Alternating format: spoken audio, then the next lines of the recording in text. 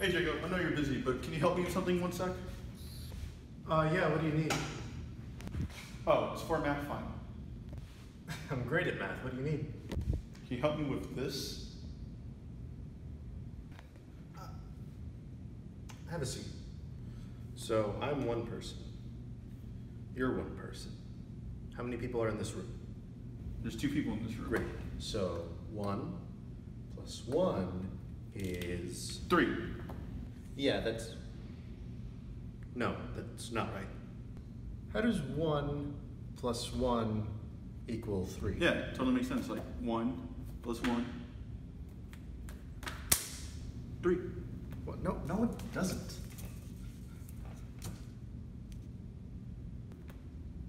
Makes sense. All right, let's try it a different way. So we have one chair, Uh-huh. and now I have one more chair. Yeah. How many chairs are in front of you? Two chairs. Right, good. So, one plus one equals Three. no. No. No. Listen, Albert Einstein didn't die for you to say that 1 plus 1 equals 3. Now take a look at this. 1 and 1 are both common factors of 2. Look at this logarithm. 2.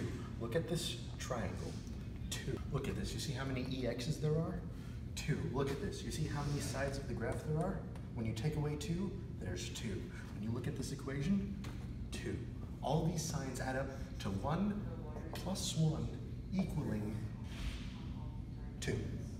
So tell me, what is 1 plus 1? Three. What is wrong with you? I'm turning this What- in. Don't turn that in. Too late. I already turned it in. You are going to fail. Boom. That doesn't make any sense. Actually, it does make sense. As you can see right here, one plus one doesn't equal anything yet. But in reality, horizontal ones do not exist. What are horizontal ones? Why? It's just a one laying down at the side, as said right here. As you can see, if we erase every single horizontal one in the equation, all you are left with is three.